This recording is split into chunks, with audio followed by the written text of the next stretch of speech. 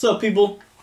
West Coast Poker Guru here with another deck review. And this time I'm going to be doing the J Design.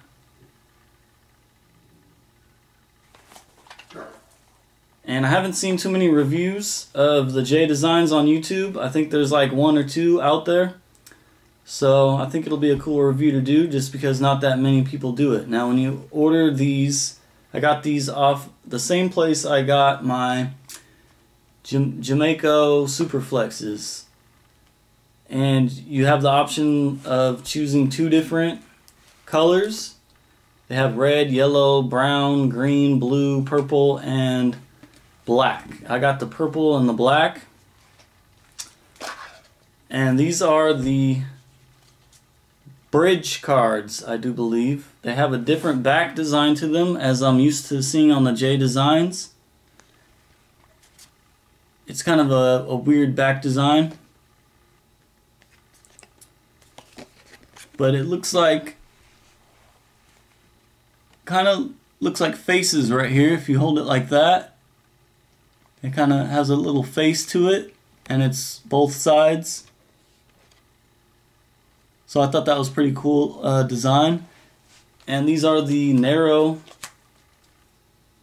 narrow index cards, similar to the World Series of Poker cards that I did.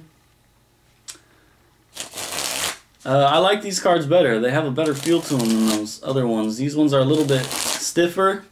They handle uh, better, I, I'd say. And you get your two J Design Jokers.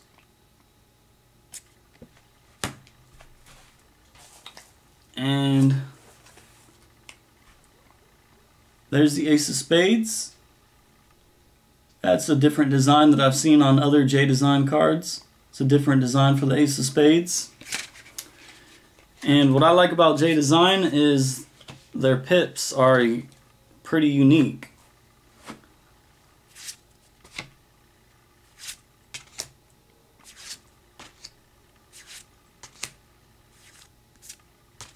I like that. They changed it up a little bit. There's the seven of spades. There's the eight. And there's the 10. So it's just a little little differences like that I think are pretty cool. Now they do have the flesh colored court cards here with the faces. And they're pretty detailed if you can see. They got a lot of detail to them. There's the King of Spades. And the hearts. Just a little slight difference to the standard pips that you're used to seeing. There's the Suicide King. And here's the clubs. Slightly different design. And I like the diamonds in these cards. The diamonds, they kind of look like stars in the sky, twinkling kind of. So just little differences like that I like about these cards. I haven't used these cards yet. They're not broken in. But uh, eventually I'm going to put them to use. I can tell you right now that uh, I'm going to like these cards. They handle well. They spring. Not bad at all. Let's see if I can do a spread.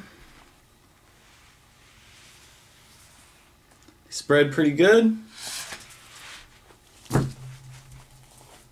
They shuffle not bad at all. So now they do have a different version of the J Designs available on that website. They have a different back to them and they have a standard, they're more of a standard size card. They're not the narrow like this one.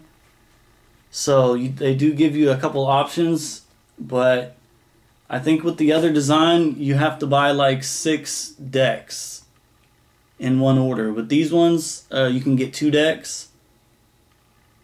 So I just went ahead with these because I just wanted to try them out. So I'm not going to buy six decks. So I just bought two of these, which they're not bad. You get to pick a, pick the color, like I said, and I picked black and purple, and I like these cards.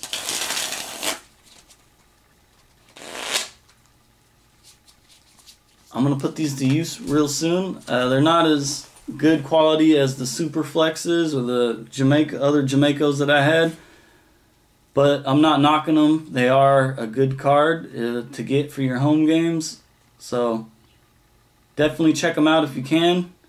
J Design, they got some quality stuff, and so there's my review of the J Designs.